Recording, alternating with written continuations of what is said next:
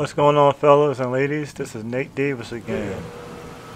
We talk today. We're going to talk about TPS high voltage code. This particular TPS has high voltage on every single wire. Every wire has 5 volts. This is a signal wire. Look at it, 5 volts.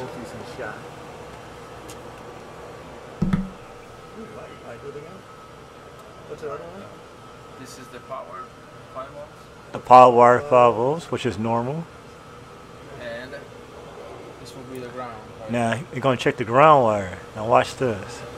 Anytime the ground wire has high resistance or open ground, the signal voltage always goes up. That's used on the ASE L1 test also. High resistance on the ground side, all open ground wire, the signal the signal voltage back to the computer is always high. Give a minute, you're gonna get in a second. My T-pin is like a week. I need to go back to Walmart and get some uh, get some good T-pins. The ones we're using is pretty uh, bent up. You have to.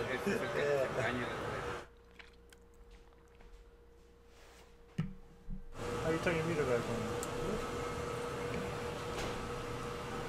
So you're in, in the ground. I get the ground wire, five volts on the ground wire. Yeah. Now put the now put a thick ground back on.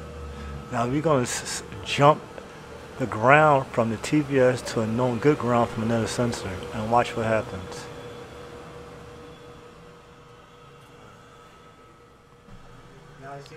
Point one volts in the ground now. To That's good. That's what you want to see.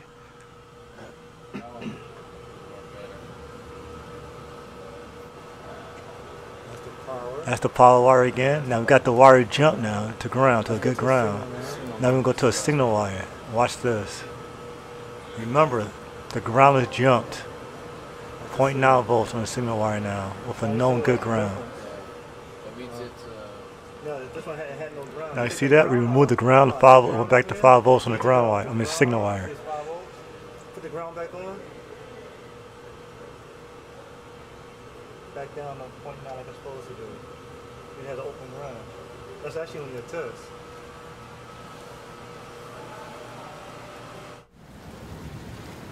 Now we repaired the wire. We took the wire out the terminal and soldered it. These are two gentlemen who worked on it. This is Cadoza and uh, Martin. That's the single voltage. Now this is the signal wire now after they fixed the ground. Ready to go, ready for smog.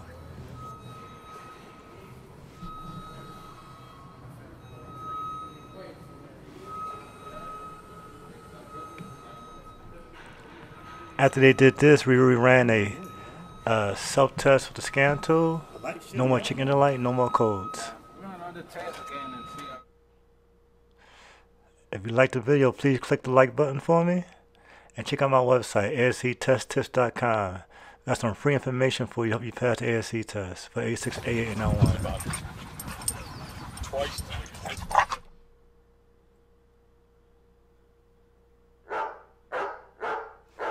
Thanks a lot.